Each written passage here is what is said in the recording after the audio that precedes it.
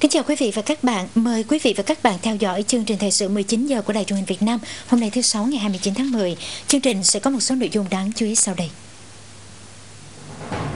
Các hoạt động của Tổng thư ký Liên Hợp Quốc Ban Ki-moon tại Việt Nam. Hôm nay Tổng Bí thư Nông Đức Mạnh đã tiếp Tổng thư ký Liên Hợp Quốc.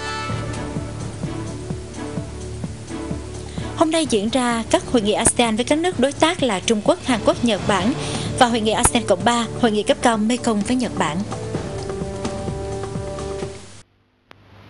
Sáng nay tại khu công nghệ cao thành phố Hồ Chí Minh, tập đoàn Intel đã tổ chức buổi khai trương nhà máy lắp ráp và kiểm định chip bán dẫn mới nhất và lớn nhất trong mạng lưới sản xuất của Intel trên toàn thế giới với tổng vốn đầu tư lên tới 1 tỷ đô la Mỹ. Đồng chí Lê Thanh Hải, Ủy viên Bộ Chính trị, Bí thư Thành ủy thành phố Hồ Chí Minh và Phó Thủ tướng Hoàng Trung Hải đã đến dự.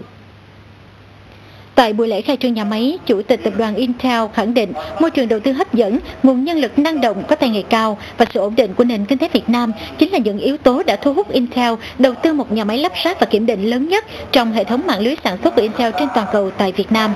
Điều này cho thấy Intel rất sẵn sàng để đầu tư hợp tác lâu dài tại Việt Nam. Nhà máy sẽ sản xuất chipset di động mới nhất của Intel dùng cho máy tính sách tay và các thiết bị di động. Và trong tương lai, nhà máy sẽ sản xuất những bộ vi xử lý.